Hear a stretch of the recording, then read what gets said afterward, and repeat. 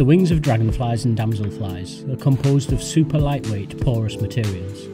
As a fly emerges from water, CO2 gas in the wings is thought to maintain the pressure, keeping these structures intact. Synthesis of aerogels, the lightest solids known to man, could take inspiration from this ambient approach. In their article in Advanced Materials, Dr. Xiao Han and Dr. Lidija Šiller from Newcastle University, UK, and their co workers from Anbar University, Iraq, the University of Limerick, Ireland, the National Museum of Bosnia and Herzegovina, and Durham University, UK, report a new ambient drying method for aerogel fabrication.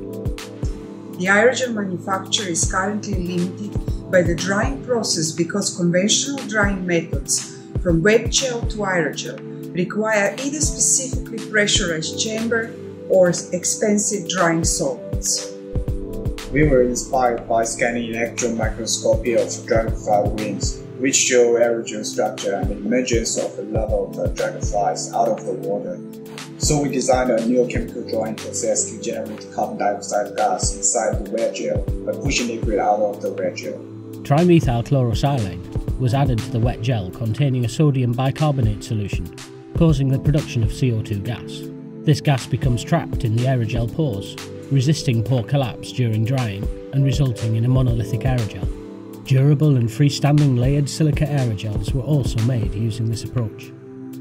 Our future work is toward manufacturing of various aerogel building products, which we believe will bring large energy savings to our society.